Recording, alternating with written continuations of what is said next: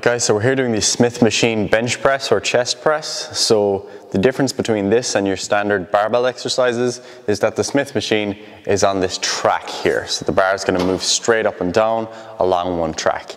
But otherwise, we're gonna set up in a similar manner. So Paddy's gonna lie flat on his back. His feet are gonna be under him, keeping him stable. He's gonna have a slight arch in the lower back. He's going to grab onto the bar, pick a nice comfortable position, play around with the width and see what's most comfortable for you. Then you want to pinch those shoulder blades back together so you're nice and steady on the bench. And then from there what you want to do, you'll notice that Paddy un unlock the hooks here. So you basically just roll your wrists forward to unlock and then you keep them in that position while you're performing the exercise. So squeeze the bar tight and then lower it towards your chest. So in this exercise, the path of motion is dictated for you by the track. So he's gonna be going straight up and down. He's gonna be working those chest muscles.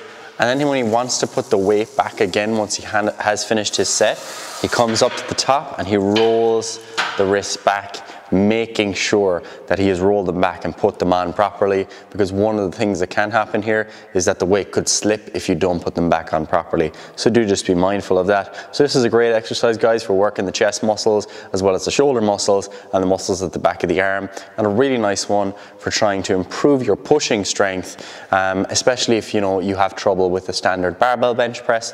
This one can kind of guide you and remove any kind of wobbliness or lack of stability. So great exercise overall.